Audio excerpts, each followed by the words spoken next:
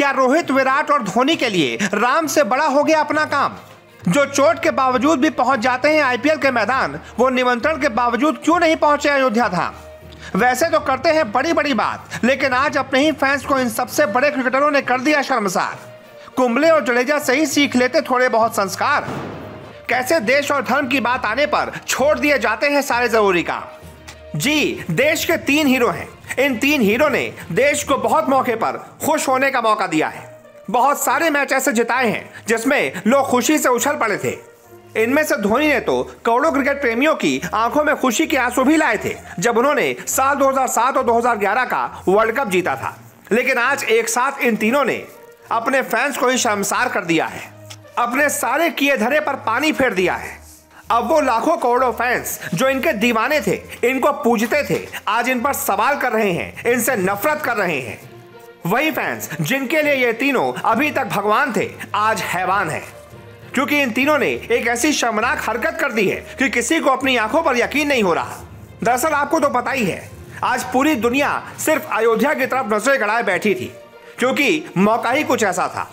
500 सालों की लंबी लड़ाई के बाद भगवान श्री राम को अपना घर मिलने वाला था। भगवान श्री राम की प्राण प्रतिष्ठा थी। भव्य राम मंदिर में पूरी दुनिया के बड़े बड़े लोग पहुँचे थे। इस देश की 500 सबसे बड़ी शख्सियतें पहुँची थी। कई लोग तो बिना निमंत्रण के हज़ारों किलोमीटर दूर से पैदल चलकर गाड़ियों से उल्टे पाँव अयोध्या पहुँचे थे। लेकिन हाय रे किस्मत, तीन हमारे महानुभाव ऐसे हैं जिनको निमंत्रण के बावजूद भी दो मिनट का समय नहीं मिला कि वो अयोध्या चले जाएँ।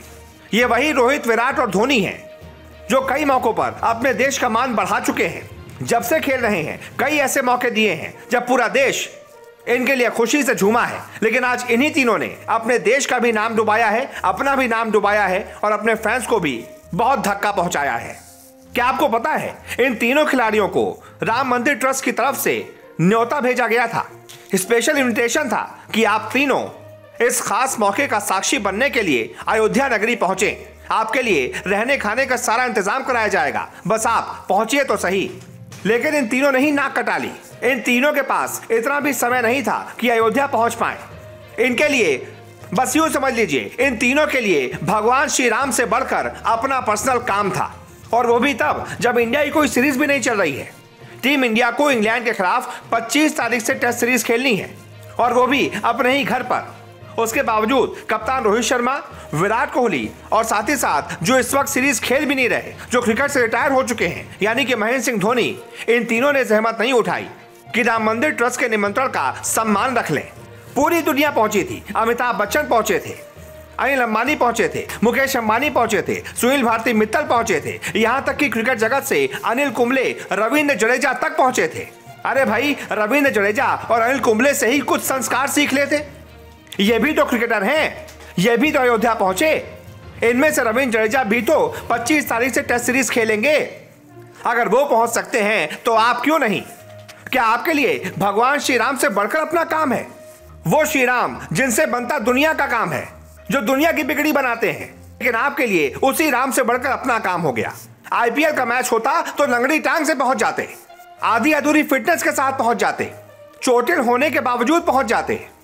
लेकिन भगवान श्री राम के यहाँ जाना था तो पूरा फिट होने के बावजूद, पूरा मौका होने के बावजूद टिकट होने के बावजूद भी नहीं पहुँचे। इसी वजह से आज पूरा सोशल मीडिया तमाम क्रिकेट फैंस इन तीनों से बहुत ज़्यादा नाराज़ है। ऐसे में आप बताइए, आपकी क्या राय है? इन तीनों के अयोध्या धाम न पहुँचने पर जो भी आप लिखना चाहते हैं कमेंट बॉक्स में ज़रूर लिखें और इस वीडियो को ज़्यादा से ज़्यादा शेयर करें।